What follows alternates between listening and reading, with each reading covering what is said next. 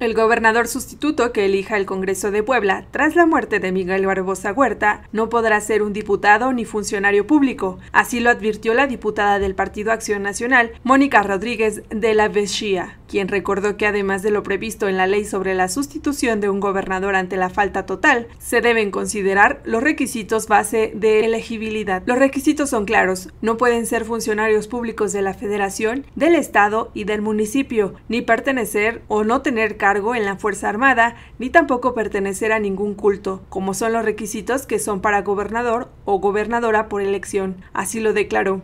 Otros requisitos son ser mayor de 30 años y ser originario de Puebla. Al asistir este miércoles 14 de diciembre al homenaje que se realizó a Miguel Barbosa en el Poder Legislativo, la panista expuso que por ahora no se han planteado nombres al interior y que deberán seguir el proceso de la ley. Aunque se tienen 30 días para sesionar de manera extraordinaria y votar por la designación de un nuevo gobernador sustituto, confió en que la elección se realice antes de que termine el año. Con respecto a los votos necesarios, detalló que deberá ser electo por mayoría lo que implica contar con los sufragios de 21 de los 41 diputados.